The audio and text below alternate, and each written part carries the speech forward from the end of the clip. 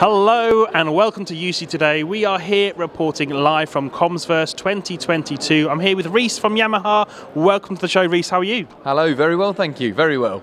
Fantastic. So, Reece, I want to talk about team certified devices. Yamaha, new kids on the block. Tell us, what is Yamaha bringing to the party when it comes to certified teams devices? Sure thing. So, Yamaha actually have been in the unified communications world for quite a while. We've been in since uh, 2006 in Japan but um, we've only recently had team certified devices. So this is our first time at Commsverse, first time able to kind of show the kit that we're showing.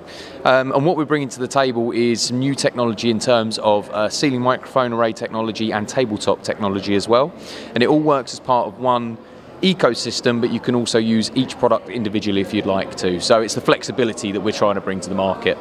Fantastic. So there's lots of fun, funky products behind us that do lots of interesting things. You know, if you can pick out one product that you want to talk about uh, to our audience, you know, what, what's what's the team certified device of choice for you? Sure thing. So um, it's probably the ceiling solution that we have is the uh, the best thing to talk about. Um, the reason being it was the first part of the ADECIA ecosystem to be brought to the marketplace.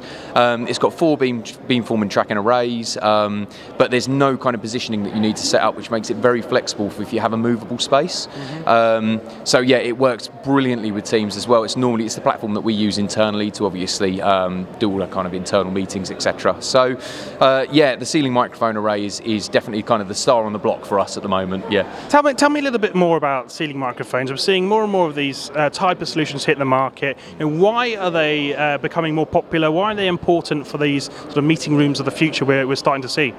Yeah, so basically post pandemic, um, what we're seeing is people don't want to be touching anything really that's on the table. So what we found is that with the traditional kind of table-based solutions, um, you, you, have to do a lot of cleaning, etc., etc. So people are more aware of that, and they also don't want to have to interact too much with the technology if it's somebody who isn't used to utilising the type of technology that we're used to. So what we found is that a ceiling microphone array where somebody can walk in, just sit down, have the meeting, start speaking, it's very, very popular. So we're finding hybrid learning, hybrid workspaces, etc as they're trying to kit out for, um, as I say, hybrid work, for example, uh, where people are kind of always having to be remotely um, participating, then uh, yeah, it's it's becoming kind of a standard rather than a nice to have. So yeah. Fantastic. So I'm going to put you on the spot now. A big prediction for H2 in the Microsoft Teams environment. You know, what are you looking at? What are you expecting? Uh, we're expecting exactly what I've said. Really, a continued expansion of Microsoft Teams rollout across kind of corporate spaces. Um, so I would expect us to see, um, you know, a, continued growth of hybrid meeting spaces, really, and then that to be followed up by the educational side as well. So yeah. Fantastic. Reece, thank you so much for joining us. Enjoy the rest of the show. Brilliant. Thank you very much. Cheers.